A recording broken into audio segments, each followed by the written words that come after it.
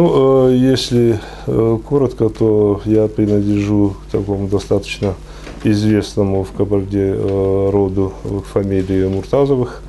Ну, известны они тем, что вот в те старые времена, дореволюционные, скажем так, они принадлежали к такому дворянскому сословию, к ведущему в республике. Они были основателями одного из поселений э, в республике, которое носило э, название вот, по, по фамилии Муртазова. Сейчас этот населенный пункт носит другое название. Ну, то, что я знаю о моих предках, это были люди достойные, благородные и всегда ставили на первый план Э, интересы не свои личные, эгоистические, а интересы, э, собственно, народа, вот, э, адыгства, как вот, очень важного, основополагающего элемента в жизни любого человека, который жил вот, на территории Кабарды в стародавние времена. Я, если сказать конкретно о нашей семье, э, по окончанию школы как-то увлекся естественными науками, поступил на физический факультет нашего университета и закончил его по специальности физика и многие годы занимался в университете наукой. Э, потом э, меня как-то увлекла такая управленческая работа и был приглашен в Министерство образования и науки. И вот в последние годы все я работаю в Министерстве образования и науки, занимаюсь там разными вопросами, связанными с модернизацией, с э, вот, компьютерными технологиями, э, вопросы науки в сфере вот, моей компетенции находятся, и благодаря этому, наверное, здесь сейчас нахожусь, потому что связан вот, с Институтом гуманитарных исследований непосредственно вот, э, по этой деятельности. Адыгара такое сложное понятие, которое исторически меняется. Насколько вот я наслышан и от старших, и больше того уже впоследствии и читал в трудах наших э, ученых описание вот этого явления. Это свод э, определенных э, правил, свойств, норм поведения э, каждого человека, который себя считает вот, членом адыгского Э, сообщества или адыгам э, по происхождению и по положению настоящему. Это вот э, целый ряд таких основополагающих моментов, связанных с участием, со вниманием, с мудростью, сдержанностью, ну и так далее, и так далее. Это очень э, емкое и сложное понятие, но это то понятие, которое, вообще говоря, сформировало наш этнос, видимо, и то его самое э, главное, может быть, э, достижение и достояние, э, которое оно вынесло из многих веков своего исторического пути. К сожалению, сейчас все эти вещи претерпевают существенные изменения. Конечно, с нормами современного общества это, может быть, часто не, не стыкуется, не укладывается. Массовая культура оказывает очень существенное влияние, и все это начинает размываться и разрушаться, но э, все-таки э, я надеюсь на то, что вот э, квинтэссенция, некое его ядро очень важное, оно э, не потеряется и будет э, продвигаться дальше э, вот, в перспективе исторической. Ну, основном механизмом передачи, наверное, главным, единственным, это вот социальная среда, это семья прежде всего, это окружение, это вот те нормы, которых придерживаются все, и та атмосфера, в которой вырастал каждый человек, оно через это он это впитывал в себя и продолжал в своих потомках. Э, оно не было написано как конституция, утвержденная каким-то парламентом. Э, это только вот в последние годы, э, благодаря нашим ученым, появились научные труды про это. Есть теория вот этого вопроса, которая уже изложена в этих исторических трудах, которые можно почитать. Кстати, один из фундаментальных трудов по этой части принадлежит директору института, вот, в котором вы находитесь. Вот эта вот тоненькая брошюрка, она, хоть она и тоненькая, но она очень емкая, кстати, написана очень хорошим живым языком, что мне нравится. Э, так что сейчас уже э, не только вот э, така, такой способ передачи всего того, что связано с Адыгахабза, с адыгством, с Вархабза там, и так далее, это э, передача уже и через э, такие Э, печатные материалы и фильмы, есть э, многие э, сюжеты, которые легли и на пленку, тоже не только на бумагу.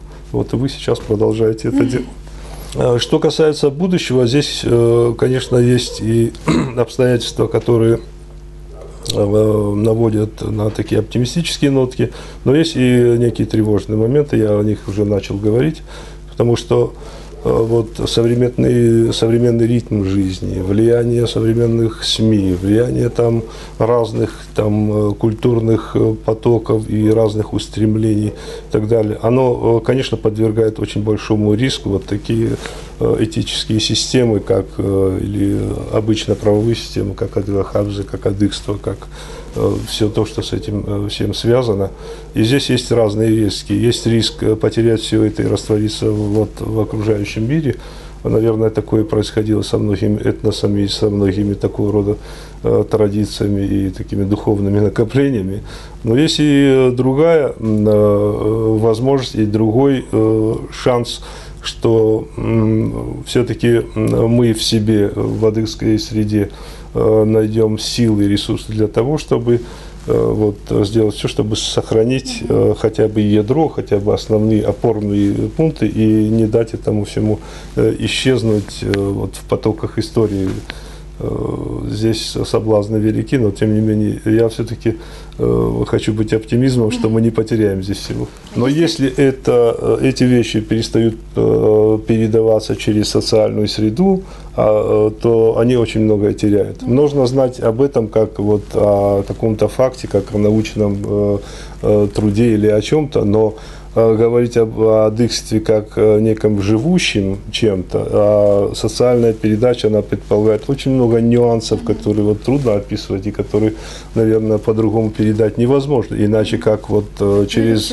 э, образы, примеры жизненные, через жизненную практику, через то, как руководствуются этими, соблюдают эти принципы окружающие тебя люди, твои единомышленники, твои единоверцы, твои э, соплеменники. Наверное, без этого теряется очень многое, хотя какие-то сведения, пусть даже обширные, пусть даже очень емкие, они, в принципе, могут передаваться современными средствами, и печатными, и электронными, и какими угодно. Но ядро и сердце этого всего в живых людях. Без них это... Да и в живом языке, конечно. Э, знаете, мне кажется, что э, здесь главное то, чтобы э, в адыгском сообществе было некое ядро, некая критическая масса людей, для которых это было бы приоритетом по жизни. И если такая критическая масса людей будет, она всегда найдет средства, формы, будет развивать их, обогащать их, расширять их и так далее. Поэтому сейчас вот просто так перечислить какие-то конкретные шаги или меры, наверное, было бы и неправильно, потому что их бесчисленное множество. Но самое главное – это вот отношения людей, отношения и самих носителей. Если среди них будут э, какая-то э, вот э, группа достаточно э, обширная, достаточно многочисленная людей из разных слоев, социальных слоев вот, общества наших, из представителей власти, из представителей там, духовенства, литературы, искусства, научного сообщества, простых граждан. Если вот это будет, тогда есть шанс это все развивать и передавать. Если этот слой э, людей, озабоченных, болеющих этим, будет усыхать и уменьшаться, тогда, конечно, перспективы не лучшие. Э, на данном этапе э, я думаю, что э, как некой организованной, взаимодействующей такой силы, вот такой группы людей я пока не вижу. Есть разрозненные люди, которые вот заботятся об этом, живут этой проблемой, они вот неформально Э, видят э, те негативные тенденции, которые э, намечаются, и как-то там на силу своих возможностей какие-то усилия предпринимают, где-то выступают, где-то пишут и так далее, и так далее. Но вот то, что для этого необходимо, его, конечно, сегодня сформированного нет. Хочу надеяться, что это будет возникать сейчас.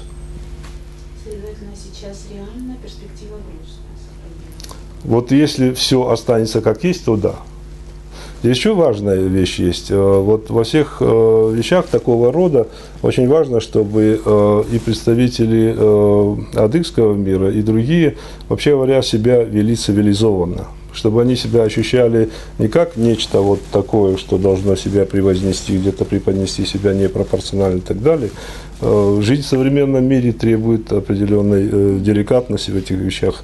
Э, Это часть адыгства была толерантное отношение к верам, представителям других этносов, представителям других народов, которые говорили на другом языке, придерживались другой религии, каких-то других этических норм. Это была важной частью этого адыгства, и вот этот момент очень важен, на мой взгляд, чтобы не было вот каких-то заскоков, крайних проявлений. Э, Такие вещи тоже можно и видеть, и слышать э, сейчас. Но это все абсолютно неконструктивно. Это как раз все то, что может э, самым вредным образом сказаться на всем том, о чем мы говорили. Ну, а вот ситуация сейчас лучше с точки, с точки зрения сохранения культуры? Или лучше была в Советском Союзе? Э, Знаете, есть э, моменты, на мой взгляд, которые э, сейчас более успешно могут решаться. Есть вопросы, которые в советское время решались лучше. Все-таки советская система, системе прямо в идеологию было, были встроены вот, вопросы, связанные с расцветом культуры нации, пусть это часто было декларативно, но тем, тем не менее, э, та э, письменность, предположим, которая есть у нас, она сложилась именно в советское время. Та э, вот, э, массовая грамотность, которая есть сейчас, она сформировалась в советское время классики нашей литературы, они сформировались и писали в советское время. И если вы почитаете эти произведения, они носят отпечаток той эпохи, в которой они писались. Э, Вот э, это объективная данность, это так и есть.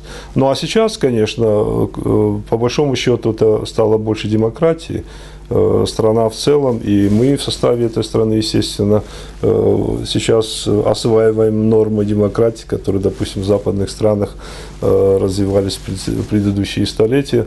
Но это тоже очень непростой процесс, и требующий времени, и ментальных перестроек, и, наверное, смены поколений определенной и так далее.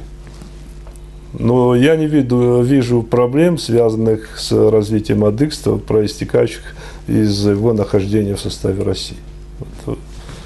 Еще раз повторюсь, наши главные проблемы в нас, в нас самих.